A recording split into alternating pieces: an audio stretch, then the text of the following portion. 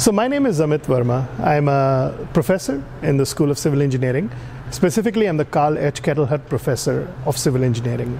I'm also the director of Bowen Laboratory, and uh, currently, I'm also the executive director of the Division of Infrastructure Research and Innovative Solutions in the Purdue Applied Research Institute. So, SpeedCore, as the name says it all, is a fast way to do building construction particularly for high rise buildings that need significant wind loading or resistance to earthquakes. SpeedCore is completely different from your typical concrete construction because there is no need for rebars, rebar cages, or formwork or scaffolding. Instead, steel modules that are made up of two steel plates connected together by ties are prefabricated in the shop and then shipped to the field. They're assembled together and then just filled with plain concrete. And then you walk away as the construction is done. So, this SpeedCore is a significant leap forward in construction because it has the potential to reduce the construction schedule, particularly of high rise buildings, by up to 50% or even more.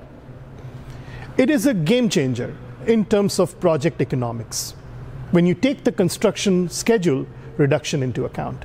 It reduces the duration of the loans that the builder may have to take and accelerates how quickly they can start making revenue by renting the constructed structures. It also opens up the site for different trades, such as the steel erector and the concrete contractor, to work collaboratively and leverage each other's resources to better execute the project. So, we are a research and development laboratory. So, whenever a new and innovative system is developed, there is a need for a lot of experimental data, test results, computer models, and design guidance that engineers, practitioners, reviewers, and regulators can rely on to design, review, and approve the system for actual construction. Our role is that we design and conduct these large scale experiments, these tests. We use the results to benchmark computer models and use all our data and knowledge to develop simple design equations and tools for the profession to rely on for their projects. So, SpeedCore, also known as steel plate composite construction, is being used in different segments of the infrastructure market. When it's used in high rise building construction, it is referred to as SpeedCore. There is, of course, the Rainier Square, which is the signature high rise building in downtown Seattle, which uses it. There is another structure, 200 Park Avenue, in a high seismic region in the city of San Jose that uses it.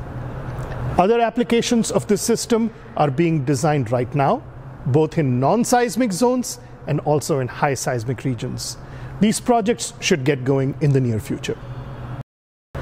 So, in the next five to 10 years, I believe that SpeedCore will define and become a part of the market niche for building construction.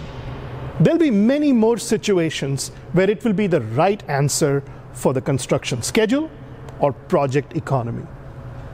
I believe that it will also be used more and more in the non seismic region with simpler bolted connection details that allow for faster erection.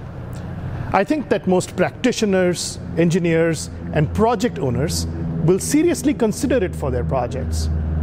I also think that many new avatars of this system will emerge from the minds of clever engineers and visionaries.